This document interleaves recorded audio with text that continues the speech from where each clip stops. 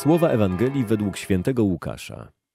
Jezus powiedział do swoich uczniów: Pewien bogaty człowiek miał rządcę, którego oskarżono przed nim, że trwoni jego majątek.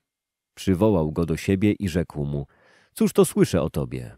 Zdaj sprawę z twego zarządu, bo już nie będziesz mógł być rządcą. Na to rządca rzekł sam do siebie: Co ja pocznę, skoro mój pan pozbawia mnie zarządu? Kopać nie mogę, żebrać się wstydzę.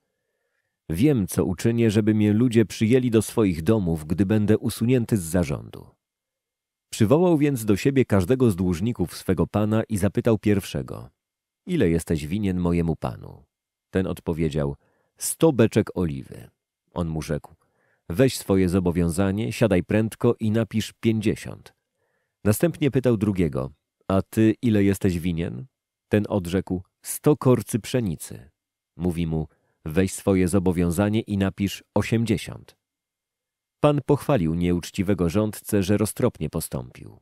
Bo synowie tego świata roztropniejsi są w stosunkach z ludźmi podobnymi sobie niż synowie światła. Przypowieść, którą przed chwilą usłyszeliśmy, jest dość zaskakująca, pełna paradoksów.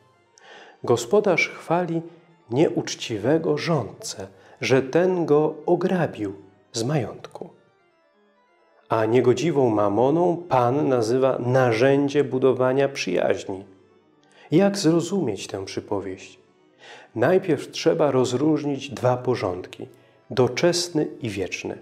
To, co w porządku doczesnym wydaje się być niedorzecznością, w porządku wiecznym staje się mądrością. W dzisiejszej dobrej nowinie Jezus pokazuje nam drogę do Królestwa Bożego – która wiedzie przez sam środek naszej zwyczajnej codzienności.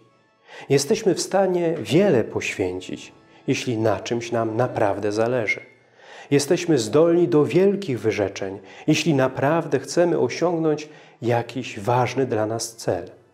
Jezus zaprasza nas, abyśmy takiej motywacji poszukali także w podążaniu za Nim na drogę do Królestwa Bożego. Po drugie, wszystko, co mamy, powinniśmy dobrze wykorzystać, obracając to w duchowe dobro. Pieniądze są dobre o tyle, o ile służą dobrym rzeczom. Nie są dobre wtedy, gdy do dobra nie prowadzą. Na przykład, kiedy trwonione są na zbytki i niepotrzebne luksusy, kiedy marnowane są na hazard lub używki. Stają się narzędziem dobra, kiedy służą budowaniu człowieka, ale jeszcze bardziej, kiedy służą budowaniu innych, na przykład kiedy rozdajemy je jako naszą jałmużnę. Wykorzystujmy dobra materialne nie dla zaspokojania własnych egoistycznych rządz, ale jako narzędzia budowania relacji przyjaźni z tymi, którzy są w większej potrzebie od nas samych. Obracając mamoną w ten sposób, dla większego dobra innych odnajdziemy prawdziwe szczęście.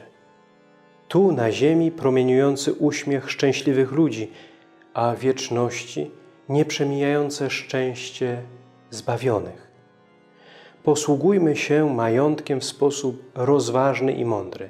Inwestujmy je w wieczność, a nie wyłącznie w doczesność.